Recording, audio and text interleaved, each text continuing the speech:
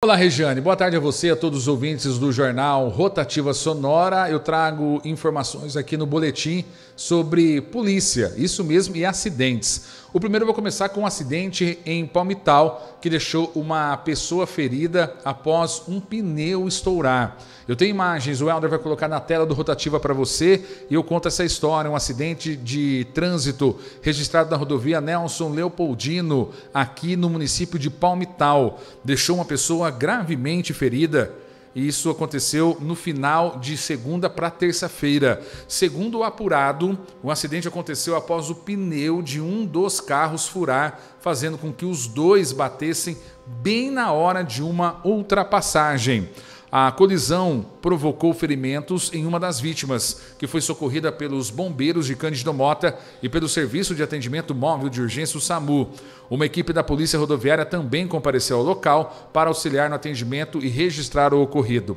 A vítima ferida foi conduzida ao NAR, tá? do Hospital Regional aqui da cidade de Assis. A gente não tem informações atualizadas sobre o estado de saúde dela, tá? A reportagem também não conseguiu apurar as placas do veículo para identificar as cidades, porque o impacto foi tão grande que não se encontrou. Os veículos que se envolveram no acidente foram uma Saveiro vermelha e um Corsa branco. Tá aí ah, esse carro aqui para você, uma uma Saveiro vermelha que está no meio do matagal. E esse impressiona que é até um meio um barranco. Para você que está na audiência da TV comigo na rádio difusora, você que está no rádio, eu estou mostrando um carro capotado com as, com as, rodas para cima, que é o Corsa Branco, ele até foi em cima ah, de uma, de um barranco. Imagens impressionantes, né? E o que aconteceu agora, a gente fica aí ah, na expectativa ah, para saber o estado de saúde dessa pessoa. Tudo por causa de um pneu que estourou. Então a gente deixa esse alerta também aqui no Rotativa Sonora em relação às pessoas cuidarem aí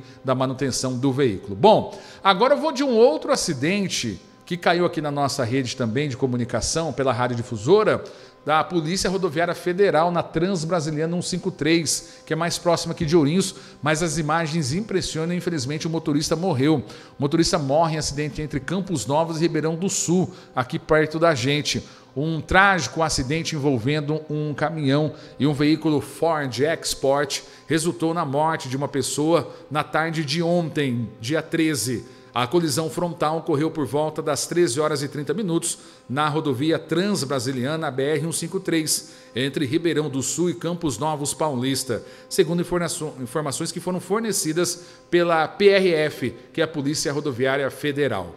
As circunstâncias do acidente ainda estão sendo investigadas, mas as autoridades relatam que a colisão frontal entre os dois veículos foi o que provocou a tragédia. Infelizmente, o motorista do Ford Export, olha como ficou a Ford Export. Está na tela aqui da TV Difusora. Ele não resistiu aos ferimentos e morreu no local do acidente. Já o caminhoneiro saiu ileso ah, desta a, dessa batida. A PRF não divulgou as identidades das vítimas. Então tá aí para você tomar cuidado, né? Tá chovendo. A gente está num dia chuvoso e previsão de mais chuvas aqui nas estradas do Vale Paranapanema. Então você que é caminhoneiro, você que está aí transitando, tome cuidado porque a pista está escorregadia e é problemática, tá bom? Eu tenho uma outra ocorrência da Polícia Civil que é, realizou a operação Fake Banks nas cidades de Urânia, Garça e São Paulo. E é bom você aqui da região da cidade de Assis ficar sabendo essa operação. Você vai entender por quê. O mês de maio, um empresário de Presidente Prudente foi vítima de golpe ao tentar negociar uma propriedade de grande valor econômico. Na transação, o empresário foi induzido ao erro de pagar mais de 500 mil reais como forma de garantia da venda. Após quitar os boletos, a transação de venda tomou outro rumo, caracterizando um golpe. Presta atenção. Assim que o boletim de ocorrência foi registrado, a central da Polícia Judiciária iniciou as investigações. Três suspeitos foram indiciados, sendo um da cidade de Urânia, um de Garça e outro lá da capital paulista.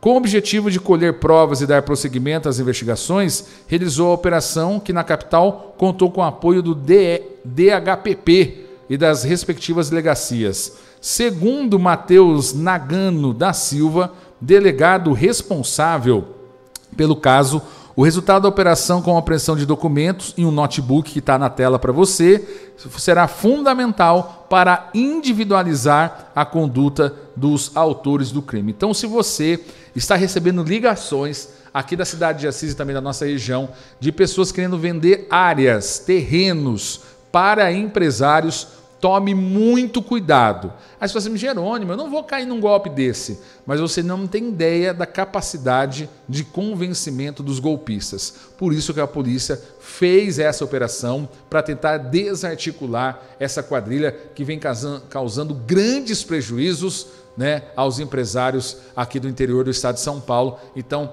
segue esse alerta para você aqui que está nos ouvindo na região da cidade de Assis. Bom, eu vou trazer um último destaque, que é até um apelo, né? Ah, o que aconteceu? Uma motocicleta, que é uma motoneta, ela foi furtada dentro de uma garagem na cidade de Assis, aqui na Coab 4. O Helder vai colocar as imagens para a gente na tela. É essa motoneta aí. O que aconteceu?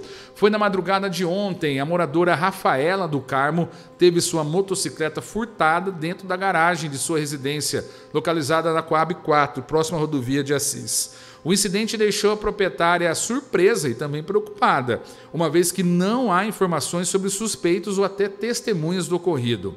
De acordo com Rafaela, a motoneta foi retirada de dentro do seu quintal durante a madrugada. No entanto, não foram encontrados vestígios de arrombamento ou qualquer sinal de infração. A garagem possui um portão eletrônico que estava fechado, mas de alguma maneira desconhecida, o autor do furto conseguiu abrir o acesso.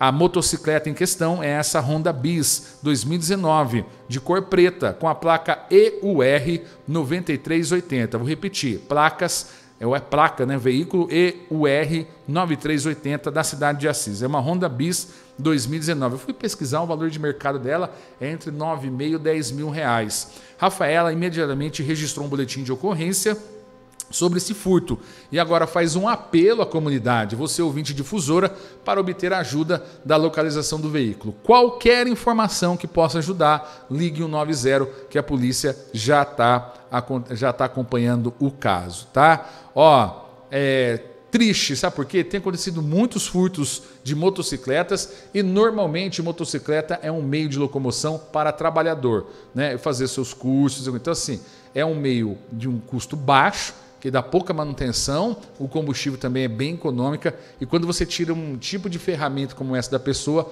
faz muita, mas muita falta. Então, qualquer informação é muito bem-vinda. Bom, esses foram os destaques aqui do boletim policial pelo jornal Rotativa Sonora.